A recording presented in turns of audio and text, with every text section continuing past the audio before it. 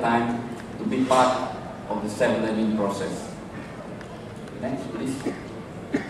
Now, this is uh, this is uh, what we see uh, many of the things that we do, uh, starting from the pre-module, then we have all the uh, uh, connection with the, between the students and the uh, tutors or the faculty members. Then we have our learning management system, which is of course an important aspect of our learning process.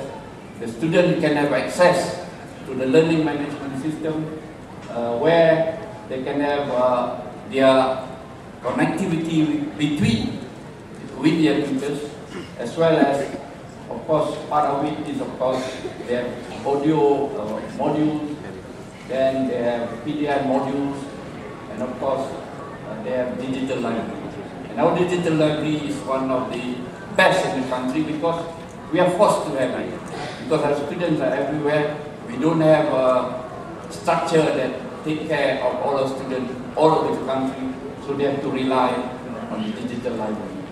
Then we have web-based modules, multimedia courseware, iWebLearns, and so on. But let me just touch a bit on the iRadio.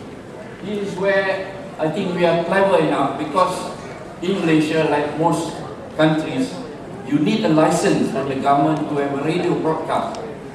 But because we utilize the website, we, we do not have to have that license.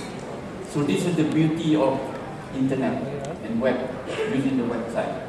So the, the iRadio, through the iRadio, should broadcast to all the students. They can download the material and they can read or listen at any time they want. So this is important aspect of reaching the students what is important is last week I I was in Maldives where they are using our model of the iRadio to reach all the islands in Maldives. Because like Maldives, like Indonesia, there are thousands of islands, but of course Maldives is smaller microsome of Indonesia. But nevertheless, they have all the islands where they utilize, or rather they use our model of iRadio. And I think maybe we can share this with UK, maybe, maybe, if they want. Siapa? Next, please.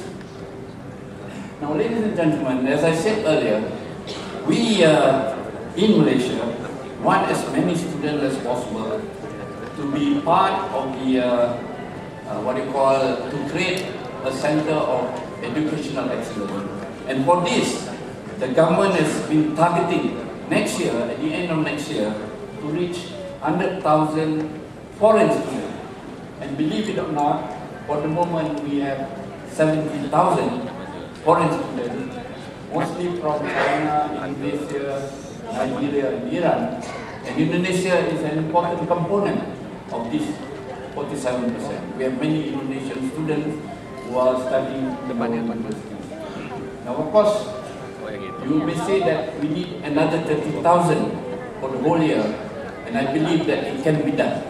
You will reach 100,000 because the, uh, the promotion that has been made, the uh, image of some of the good universities has been accepted by many parents as well as students in this part of the world.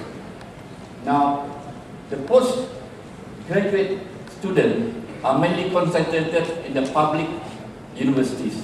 The, uh, the run by the state uh, universities, whereas the private, the private institution, the private universities and colleges, they are mainly catering for the first degree students. Now, of course, as you know, to do this, the government has to support the various uh, uh, initiatives taken by the private sector as well, and this is done the normal uh, marketing procedures, marketing uh, cost-effective option that has been done by many public as well as private universities. And of course, to, to, to support this, they have certain legislation, particularly the, uh, the uh, Private Institution, Private Higher Education Institution Act of 1996 that promote uh, public, uh, public as well as private universities to, to, to have uh, students from overseas. Next, please. Now, ladies and gentlemen, let me just say uh, that OUM as an education provider has a different role in the sense that